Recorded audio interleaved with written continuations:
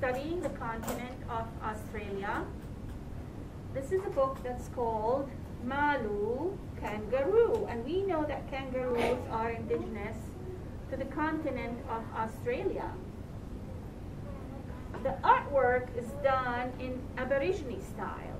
It's kind of like dot art.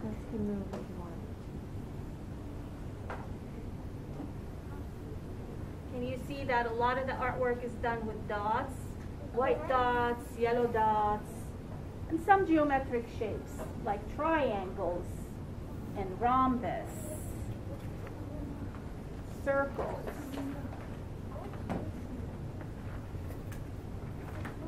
So this story takes place in the continent of Australia. Thank you, Varang.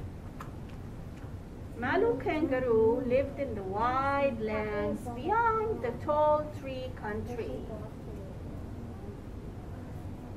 You're in Mesa's spot. Can you find a different spot? Thank you. But he had a great longing for the sea. So he ran and ran and ran until he came to the sea country. What does it mean he had a great longing? Raise your hand if you think what that word longing means. He had a long name. He had a what? Long name. Long name? Not exactly. He did have a long name. But when I say I am longing for a cup of tea on my balcony, that means I am looking forward so much. I can't wait. This is something I'm hoping and can wait cannot wait to do. Longing. I miss. I want to do it. So he was longing. He lived away from the beach. And he missed it. He wanted to live by the beach. So he ran and he ran and he ran until he came, Joshua, to sea country. Waiting on the beach were the first children. What gift will you give us? asked the children.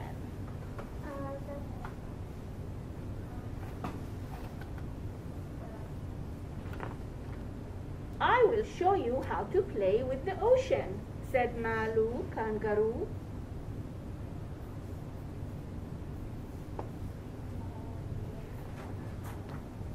He took some wood and he worked it, and he shaped it, and he rubbed it, and smoothed it, and he floated up, to, up on the water for the first children.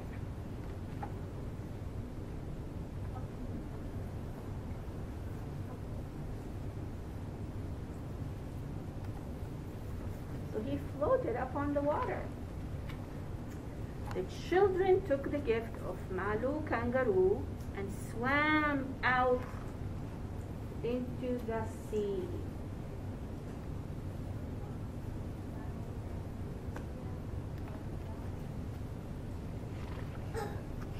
They learned to balance and to guide it.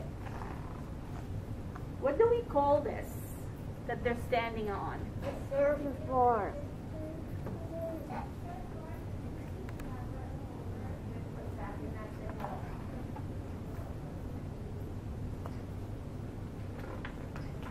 They learned to skim across the water like flying fish.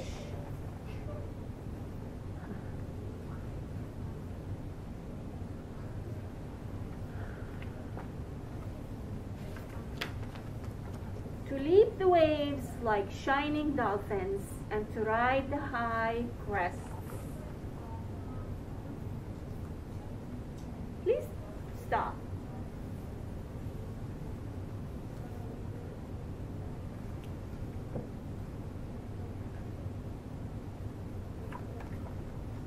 Joshua, this is the third time, my dear. Please find a different place to sit. You're interrupting me three times. Find a different place to sit where you'll be more successful. And put that in the garbage. Don't throw it on your friends. Thank you. Or swoop and fly before the crashing breakers like bright birds in the sun.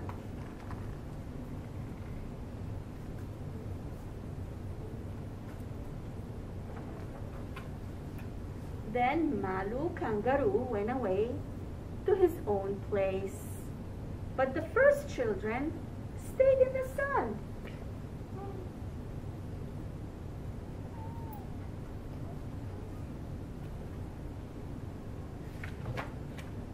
And they played with his gift and with the sea.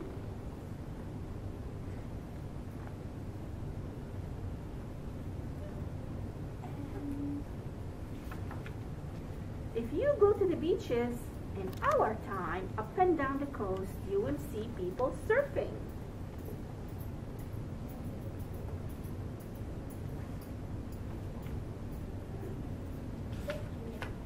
And you will find that they skim across the water and ride the high crests and fly from crashing breakers.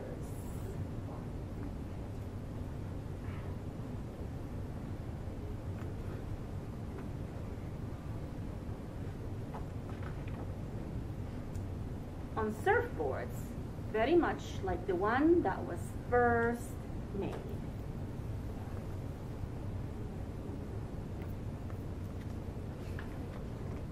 For the first children by, remember the name of the kangaroo?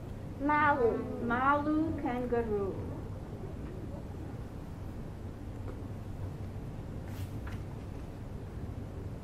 Boys and girls, is this mm.